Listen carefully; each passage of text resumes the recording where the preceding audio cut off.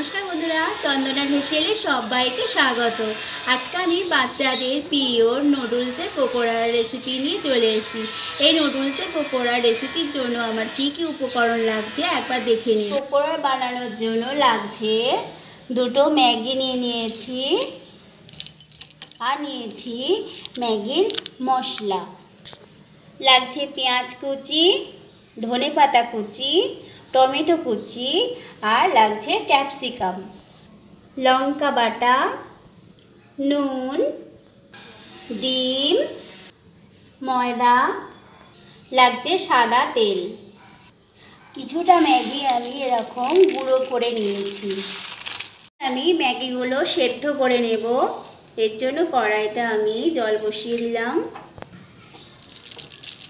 এভাবে আমি ছোট ছোট করে নিচ্ছি।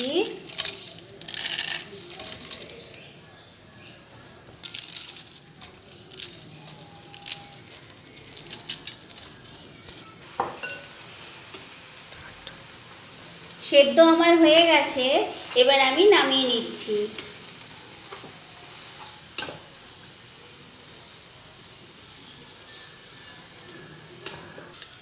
ম্যাগিগুলো আমার সেদ্ধ হয়ে গেছে, এর মধ্যে আমি দিয়ে দিচ্ছি পেঁয়াজ কুচি,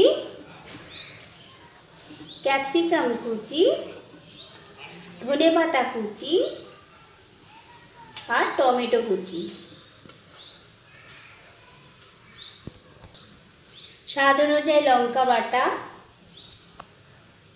নুন দিয়ে দিচ্ছি আমি স্বাদ অনুযায়ী।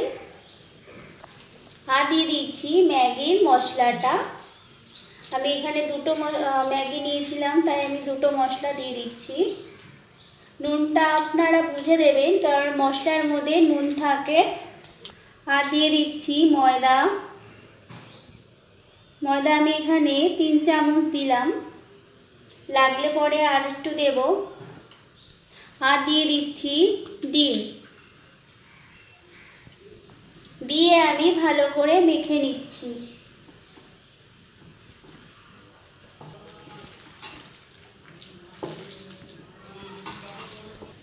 মাখা আমার হয়ে গেছে। এবার আমি বলের আকারে গড়ে নেব। আমি প্রথমে একটু ময়দাকে একটু জল দিয়ে গুলে নেব, একটা ব্যাটার বানিয়ে নিচ্ছি।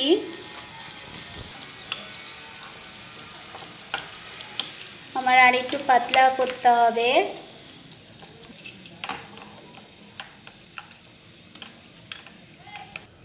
এবার আমি এক বলের আকারে তৈরি করে নেব। আমি হাতে একটু তেল মেখে নিয়েছিলাম, এইভাবে আমি তৈরি করে নেব।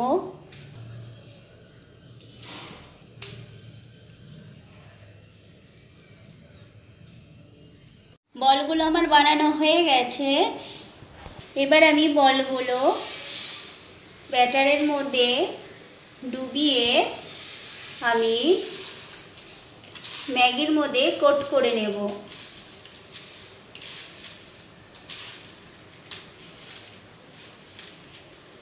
এইভাবে আমি প্রত্যেকটা বলগুলো একইভাবে আমি বানিয়ে নিচ্ছি। ব্যাটারে ডুবিয়ে আমি ম্যাগির মধ্যে কোট করে নিচ্ছি। আমি একইভাবে সমস্ত বলগুলো করে নিয়েছি।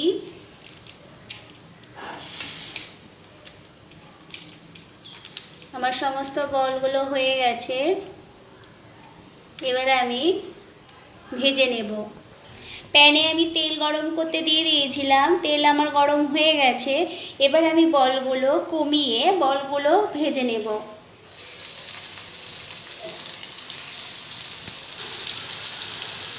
আমার একটা দিক হয়ে গেছে, আমি উল্টিয়ে নিচ্ছি। আমার পকোড়াগুলো ভাজা হয়ে গেছে, আমি এটা আঁচটাকে বাড়িয়ে তুলে নেব।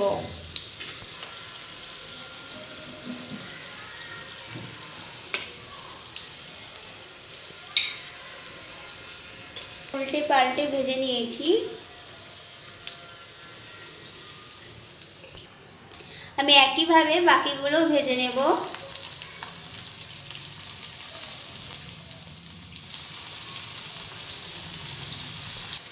আমি একইভাবে বাড়িয়ে তুলে নিচ্ছি। কোনো ভাজা যখন তোলা হয়, তখন আঁচটাকে বাড়িয়ে তুললে তেলটা বেশি টানবে না। পকোড়াগুলো আমার বানানো হয়ে গেছে। এরকম কুড়মুড়ো হয়েছে, ভেতরটা বেশ সফটিও হয়েছে। যদি আমার এই রেসিপিটা আপনাদের ভালো লেগে থাকে, অবশ্যই কমেন্টস করে জানাবেন লাইক করবেন শেয়ার করবেন, আর নতুন নতুন ভিডিও পাওয়ার জন্য সাবস্ক্রাইব করবেন। ভালো থাকবেন, সুস্থ থাকবেন, ধন্যবাদ।